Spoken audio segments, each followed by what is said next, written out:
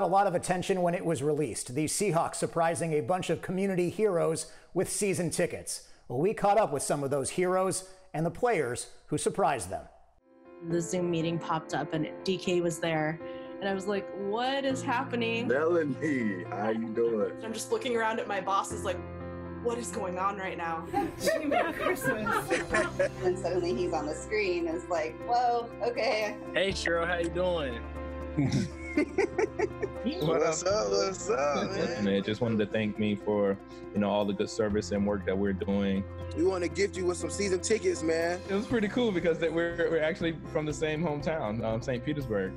Um, it, their their high school was actually one of my rivalry high schools. It just felt good for us to be able to show them how we felt and then kind of just show our appreciation.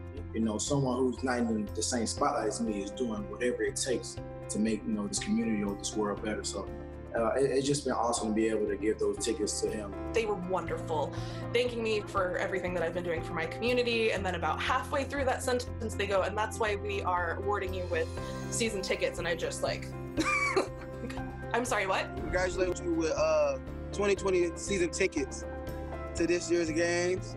Yeah. It's gonna be a fun one, so make sure you be there.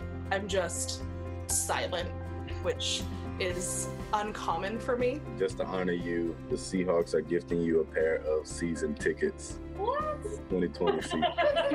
I can't see your smile, so I'm That was really surprising. I knew something was going on.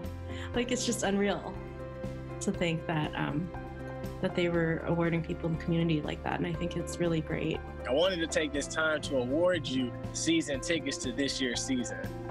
Are you serious? Of course. I was in shock, really. I was just like, I don't even know what's happening right now. I was very humbled and very honored. I was actually kind of on the verge of tears the whole time, so I didn't really say much because I didn't want to start crying. Thank you. I don't even know what to say. I'm like speechless. it's just amazing to be part of that group of people that are, you know, still still grinding for the for the good of our community and, and to be recognized amongst you know 11 other folks um, doing amazing things by the Seahawks is pretty cool.